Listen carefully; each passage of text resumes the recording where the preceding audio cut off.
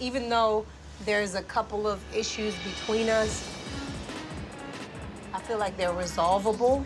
Like They we're- are. we're- Absolutely, they're all they fixable are. with the people that are here, and that I hope that one day the other issues become resolvable too, so we can all kind of turn up. Even if, let's just say, I don't really with that bitch like that, but we can still like be.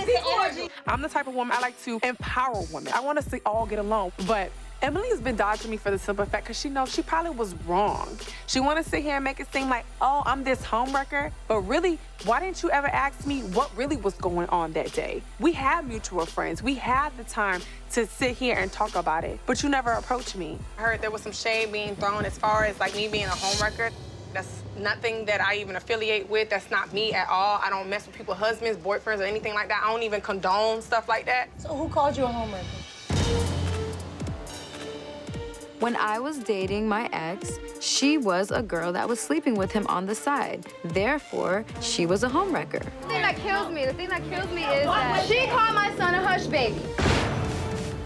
I never said anything about her child. Anything. My Who said friend. about my child, though? My friend. Crystal. You should have cleared that up. I'm talking I to don't you. know your kid, so how the can I say your child?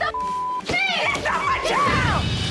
Coming up on Baller Wives. My son told me from the beginning he didn't like your child. That's extra. You don't need to tell me all that. Do whatever you want to do, but don't involve my child. Channing and Aiden have always got along. No, no, no, no, no, no. Aiden has come home two times and told me that he had beat your son. If this is all displaced anger at me, she can talk to me.